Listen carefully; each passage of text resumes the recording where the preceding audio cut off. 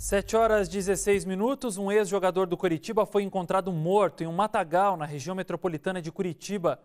O órgão genital foi arrancado e o corpo tinha marcas de facada.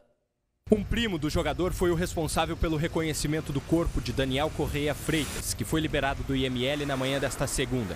Ele tinha 24 anos. Segundo a polícia, há sinais de tortura no corpo do rapaz. Ali foi uma coisa ali com bastante malvadeza.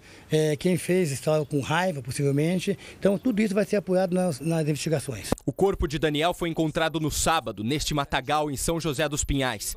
Peritos disseram que a morte foi causada por golpes de faca. A Polícia Civil instaurou um inquérito para descobrir o que aconteceu. A principal linha de investigação aponta para um crime passional.